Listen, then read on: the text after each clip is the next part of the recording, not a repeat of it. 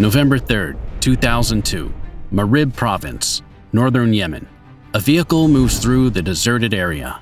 There's seven people in it, including Abu Ali al-Harithi, a high-ranking member of al-Qaeda in Yemen.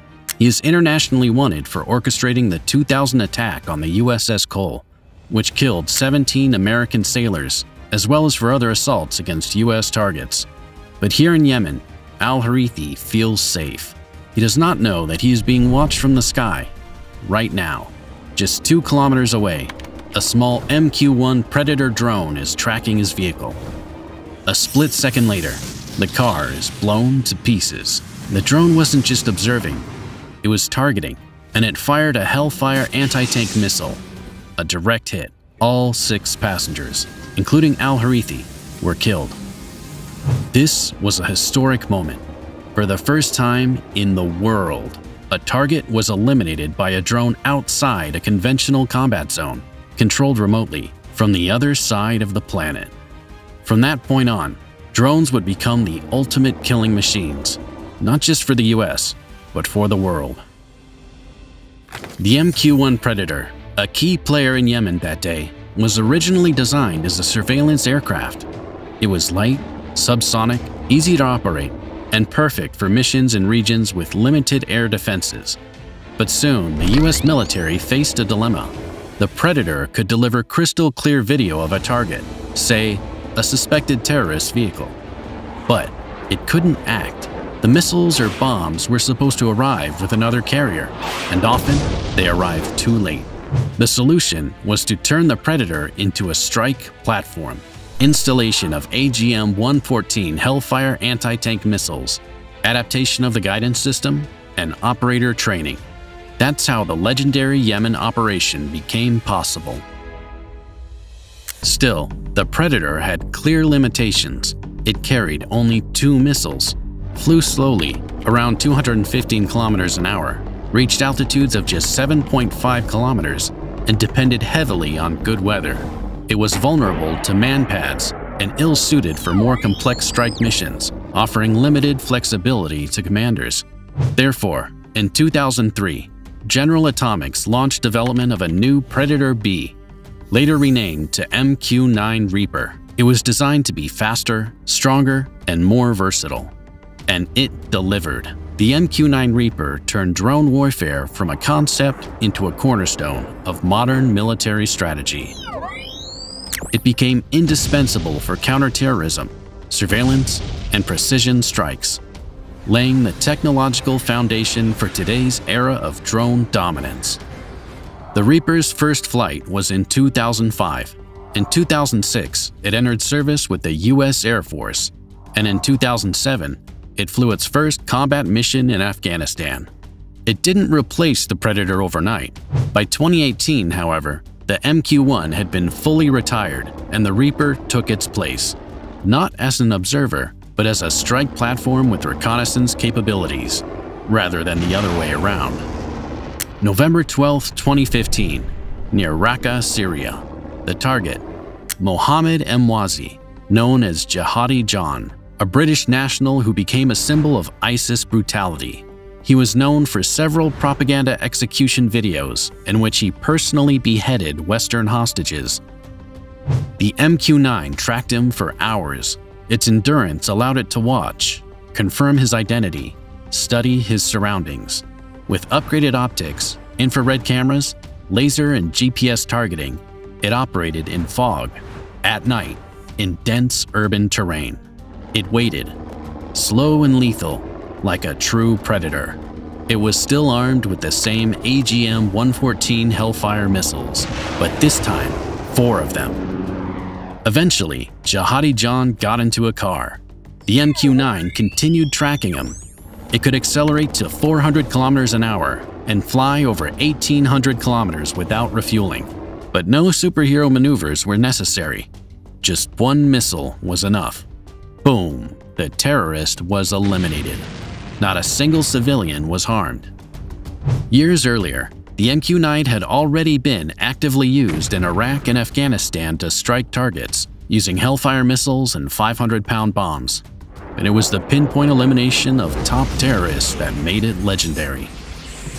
January 3, 2020, Baghdad. Two American drones launched missiles at a convoy of two vehicles leaving the airport. Among those killed was Qasem Soleimani, commander of Iran's Quds Force, an elite unit of the Islamic Revolutionary Guard Corps. He was known as the Grey Cardinal of the Shia Crescent, a central architect of Iran's axis of influence stretching from Tehran to Beirut. The strike stunned even military analysts. How had they tracked down a man so obsessed with his own security? In addition, the nearest drone airbase is in Kuwait, which is 570 kilometers from the target. All signs pointed to only one UAV capable of carrying it out, and this was later officially confirmed. It was again the MQ-9 Reaper. And this is where the Reaper truly changed the nature of war. It became a drone capable not only of delivering strikes, but of choosing how to apply pressure. On its seven hardpoints it can carry, the same AGM-114 Hellfires, missiles for high-precision elimination of vehicles, buildings, and groups of people. GBU-12 Paveway 2, laser-guided bombs, GBU-38 JDAM, GPS-guided munitions, GBU-49 Enhanced Paveway 2, with dual guidance, GPS plus laser. Its max payload is 1700 kilograms, making it a fully fledged combat platform. The Reaper is remotely piloted via the Ku-band satellite system. The operator may be in Nevada while the drone operates over the Sahara. Communication uses dual-channel redundancy to present loss of contact. If the signal is lost, the MQ-9 can follow a pre-programmed scenario, return to base, or loiter over a zone. The Reaper is an excellent partner in large-scale operations. It often works in tandem with ground special forces units, who provide coordinates and target markers. It coordinates with manned aircraft like the F-15E or AC-130. And it often flies with other Reapers, not as a lone hunter, but as part of a swarm. Yes, but how does it stay invisible? It's not exactly small. Its wingspan is about 20 meters, bigger than an F-16. This isn't for maneuvering, but for aerodynamic efficiency. It needs to stay aloft for days. The fuselage is extremely simple, no angles, smooth surfaces. There's no stealth geometry. The Reaper doesn't hide. It simply flies higher than anything else. Its ceiling is up to 15 kilometers, 50,000 feet. Most short-range air defense systems simply can't reach it. Its engine, the Honeywell TPE 331-10GD turboprop, generates around 900 horsepower, 671 kilowatts. Originally designed for manned aircraft, it was successfully adapted for the MQ-9, powerful, reliable, and fuel-efficient enough to support long-endurance missions. This engine is what lets the Reaper shadow a target for hours without tiring.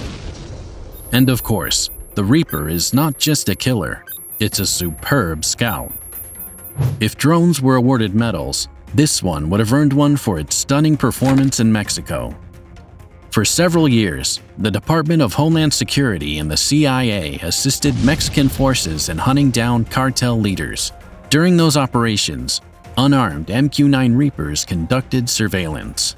The top target, Joaquin El Chapo Guzman. He had escaped from prison in 2001 and successfully evaded capture for over a decade. The drones monitored Guzman's cartel from its drug labs. And here is the result. In 2014, Guzman was arrested at a beach resort hotel in Mazatlan, Sinaloa. Later, in 2023, the Reaper helped track down his son, another major drug trafficker. According to the Wall Street Journal, the drone program in Mexico had been running for over two decades. It's no surprise that for America's enemies, shooting down an MQ-9 Reaper is a true victory, proudly reported by the media. Yes, it can be shot down by medium or long-range air defense systems or fighter aircraft. But this drone isn't helpless. If properly managed, it detects threats long before they can reach it and can evade most attacks. Of course, the MQ-9 Reaper is a high-value target each unit cost around 30 to 40 million dollars. But the US is believed to have nearly 300 Reapers in service, What's more, the MQ-9 is exported, albeit in limited numbers and under strict US controls. In addition, in 2023, no fewer than six MQ-9 Reapers were spotted over the skies of Gaza. No, Israel hasn't officially adopted them. After all, it's a world leader in drone development. So what were the American UAVs doing there? They were searching for hostages kidnapped by terrorists. The Reaper's camera system is a multifunctional reconnaissance module that can be configured for specific missions. Its main sensor module is the Raytheon MTS-B, it includes FLIR thermal imaging, which detects heat signatures from people, engines, fires, or underground ventilation shafts. Its daytime camera has an ultra-powerful zoom with high-resolution color imagery. Its infrared sensor works in low light or total darkness. It features auto-stabilization and target tracking. All of this is packed into a rotating turret mounted beneath the Reaper's nose. Additional modules can intercept signals, radio, mobile, or spoken communications. Synthetic Aperture Radar, SAR, allows it to see through clouds, smoke, and even ground. GMTI mode tracks moving targets, vehicles or people, and is mounted as a separate pod under the fuselage. The MQ-9 Reaper is a unique scout and killer. It has changed the very nature of warfare. Picture this, an operator sits in an air-conditioned trailer at Creech Air Force Base in Nevada, sipping coffee from a plastic cup, controlling an aircraft flying over Yemen or Afghanistan with a joystick. In the next room is a CIA analyst, and another, an imagery specialist, all of them in civilian clothes, all of them on their shifts, all of them going home after work. This mode of warfare breaks the traditional structure of risk pilots no longer risk their lives. A commander can eliminate a target without sounding alarms or mobilizing troops. But this raises a critical question. Where does warfare end and execution begin? The United States officially acknowledges the use of the MQ-9 in counterterrorism operations, but not all missions are disclosed. Many are conducted under intelligence operations, classified and off the books. Those targeted are not only armed militants, but also suspects involved in coordination, communications, and logistics. Terms like signature strike have emerged when a person is killed not by name, but by behavioral profile. A military-aged male traveling with armed individuals, frequently visiting a known location. This has drawn heavy criticism. Human Rights Watch, Amnesty International, and other rights organizations have accused the U.S. of replacing due process with operations based on police-style profiling and visual analysis. Mistakes have happened. Civilians have died, including children. A 2015 leak revealed that up to 90% of those killed in some operations were not the intended targets. They simply happened to be nearby. The fate of the drone operators themselves is another matter. Though they aren't physically in hostile territory, rates of burnout, PTSD, and guilt are high. They aren't pilots in the traditional sense, but they watch, in real time, the face of the person they are about to eliminate. They see him step out of his car, sip his tea, and then they press the button. The MQ-9 has made war one-sided, but at the same time, it has made it deeply personal for those who wage it. This is not a war of machines. It is a war without risk for one side and without chance for the other. The ethical question remains unsolved. But one thing is clear, no one is going to give up drone warfare. Meanwhile, the US is developing an even more advanced drone, one with greater survivability and longer endurance. It's called MQ Next.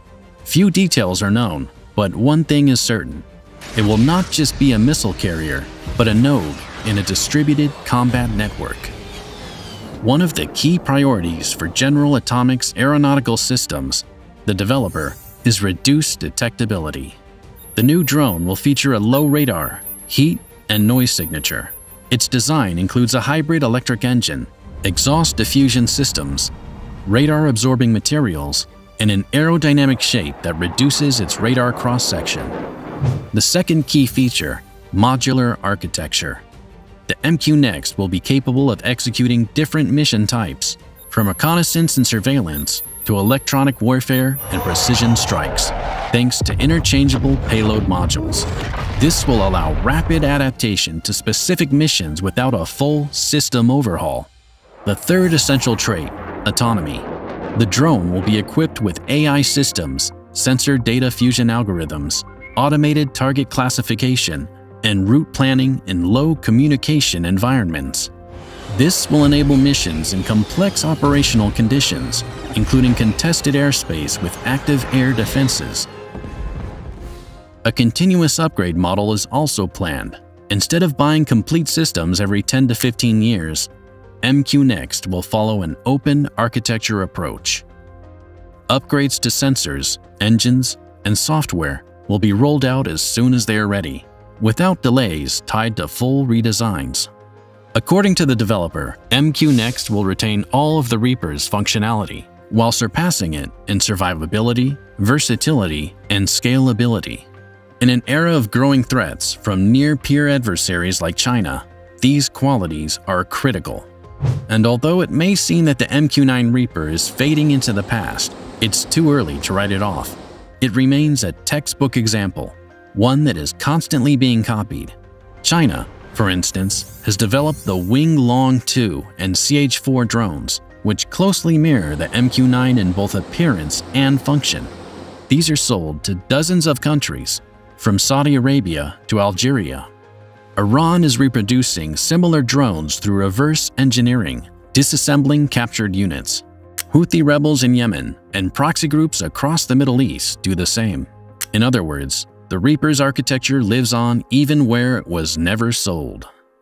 What's next? It's likely that the Reaper will remain in reserve, used in secondary conflicts, as a strike workhorse in Africa operations or the Middle East. But the core missions of the future, penetration, air defense suppression, swarm command, will fall to newer machines.